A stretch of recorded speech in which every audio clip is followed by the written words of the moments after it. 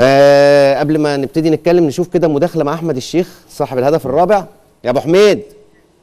وعليكم السلام مبروك عليك آه الهدف. مبروك عليك ثلاث آه نقاط. مبروك عليك المركز الثاني. مبروك على كل حاجة حلوة أنت بتعملها مع فرقة مصر المقاصة بصراحة.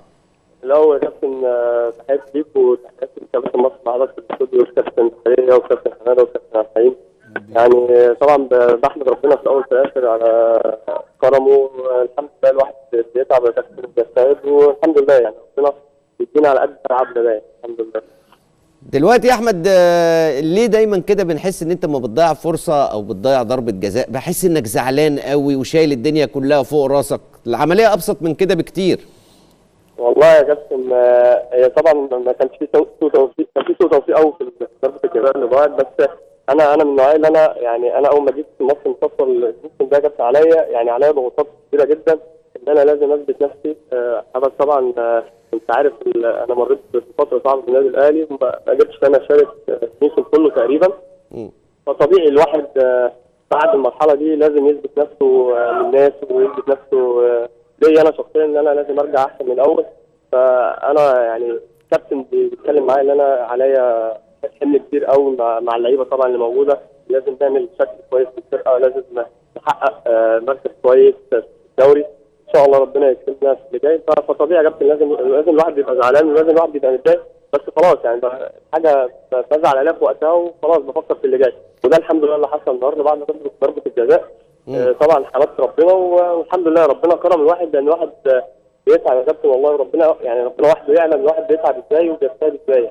لا طبعا إحنا شفناك حتى بعد ضربة الجزاء وحتى قبل إحراز الهدف حاولت في الكرة اللي قبلها اللي أنت دخلت ورقصت وحطيتها. ولكن آه عايز كنا بنسأل في الاستوديو عن سقف الطموح بتاع لعيبة مصر المقاصة.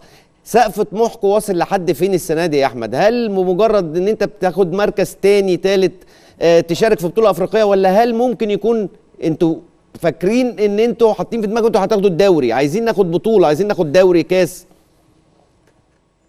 يا كابتن حضرتك لعيب كبير وعارف الكباتن اللي مع حضرتك عارفين قد إيه ال- ال- البطولة بطولة الدوري بشكل عام آه، متطلباتها كتيرة جدا يعني. بتحتاج بقى بتحتاج آه، جماهيريه بتحتاج مسانده إعلامية بتحتاج حاجات كتيرة جدا.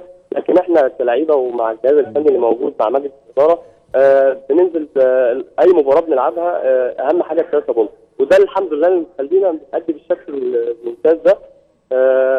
يعني إن شاء الله إن شاء الله نقدر نحافظ على المركز اللي إحنا فيه. المركز الثاني يعني هيبقى يدينا دفعة علينا طبعا إن إحنا نلعب إن شاء الله آه، أبطال أفريقيا الموسم الجاي. آه، أعتقد هيبقى إنجاز آه، حققوش نادي مصر المقاصه إن شاء الله بإذن الله يعني قدرنا قدرنا ننافس على الدوري يعني ليه لا يعني؟ إن شاء الله بنحاول بنحاول إن شاء الله. كابتن واللي جاي إن شاء الله. لا وأنت يا أحمد كلنا بصراحة مقدرين مجهودك اللي أنت بتقوم بيه. أحمد الشيخ تسع أهداف 3 أسيست 12 جون مساهم فيهم بنسبة 41% من الشغل الهجومي لفرقة مصر المقاصة. ولكن كان الكابتن عبد الحليم آه، علي كان عايز يسألك على حاجة يا أحمد لو سمحت. اتفضل يا كابتن. أحمد آه، مبروك ليك وللمقصه وللكابتن إيهاب. و- والمجلس إدارتك ومبروك للعيبة. أداء جيد وأداء محترم. ثبات في الأداء. آه، بنبارك لك اولا على الفوز النهارده وع- وع- وعلى التلاته بونت وزي ما أنتم في مكانكم في المنافسة. أبارك لك على أدائك. آه، يعني أدائك وكلامك و وإحساسك أنت واقف فين بالظبط. آه، أنت مش مطلوب منك إنك تجيب هدف بس بتجيب هدف وبتصنع أهداف. آه، في كلامك في تواضع وفي عندك هدف كبير أنت بتسعى له. ما تقلقش مش عايزك تزعل لما في لما بتضيع ضربات جزاء ولا بتضيع أهداف. دي, دي مش قضيتك انت أنت بسم الله ما شاء الله بتعمل حتة دفاعية بت- بتنزل آه، نص ملعبك بتساعد زمايلك. آه، أنت ليدر في الملعب مع الكابتن هاني. فبالتالي عندك ده عندك ده كل ما تقلقش. أنت لسه صغير ولسه قدامك بسم الله ما شاء الله الع- العمر طويل يعني. إنما للوصول اللي أنت فيه دوت دي حاجة تحترم. المعدل التهديفي دي حاجة تحترم. الأسيست اللي أنت بتعمله. تواضعك مع زمايلك ومع جهازك دي حاجة هتعليك أكتر مش مش هتقلل منك. فما تقلقش إنك ضيعت ضربه أو اتنين أو تلاتة أو 10 مش دي قضية.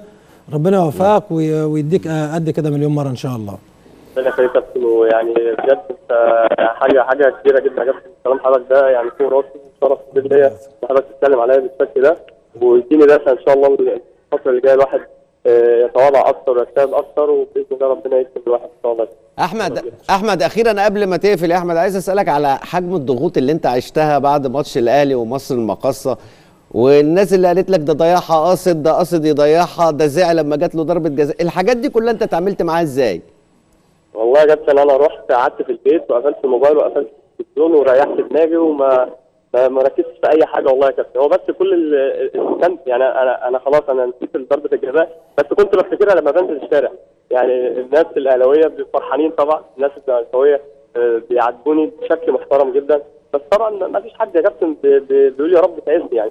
أي حد بيتمنى إن هو يجيب آه، خصوصا يجيب هدف في النادي الأهلي. وما ما كانش فيه توفيق لكن طبعا الحمد لله يعني. أنا يعني بعرف الحمد لله بعرف كويس إزاي. مع طبعا مع الكابتن إيهاب هنا يعني اتعامل معايا بشكل محترم جدا. يعني يا كابتن حتى كمان بعد ما ضيعت ضربة الجزاء قال لي أنت تشوف برضه لو جت إن شاء الله. والنهاردة برضه بعد ما ضيعت جابني على الخط وقال لي لو جت ضربة جزاء تاني انت تشوط فدي يا كابتن دي حاجة يعني نفسيا تخلي الواحد يطلع كل اللي عنده. فطبيعي يعني طبيعي الحب اللي موجود في الفرقة مع بين اللعيبة وبين الجهاز ومجلس الإدارة. ده مش من فراغ يعني الحمد لله طب دلوقتي يا احمد إحنا سم- سمعنا ان النادي الاهلي ابتدى يتكلم و...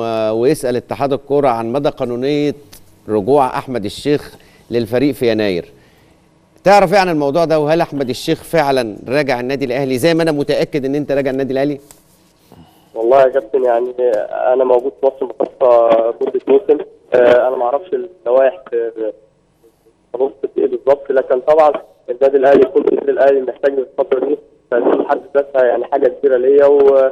والحمد لله ده مجهود الواحد آه، الفترة اللي فاتت فربنا يعني ربنا بيدي الواحد على قد مجهوده فأنا أنا مش عارف آه، اللوائح آه، هتعمل إيه بالظبط هل في يناير ممكن ان أنا أرجع؟ والله الكابتن مجدي الكابتن مجدي عبد الغني كان قال تجيز آه، يبقى طبعا دي هتبقى راجعة لمصر مقاصة طبعا. أنا لازم أحترم النادي اللي أنا فيه.